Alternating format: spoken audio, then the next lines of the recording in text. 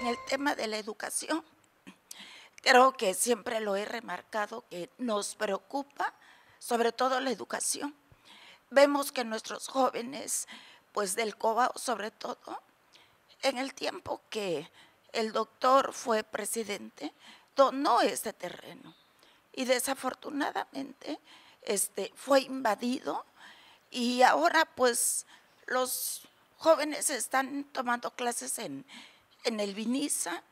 y tienen pocos alumnos por, por esta situación y creemos que no se nos hace justo, pero también en la Universidad del Istmo que, que tenemos, que también en el tiempo de Daniel eh, se hicieron hasta lo imposible para tener esas instalaciones y desafortunadamente nuevamente está invadida por personas que pues dicen amar a Juchitán, dicen preocuparse por Juchitán y creo que, que no es cierto, ¿no? Entonces en mi gobierno vamos a gestionar otras carreras para que nuestros muchachos pues no salgan y a los papás se les dificulte pues mandarlos a estudiar, que muchos jóvenes en este caminar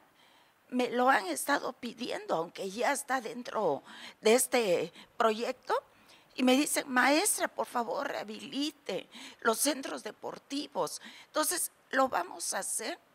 y vamos a apoyar fuertemente a nuestros deportistas.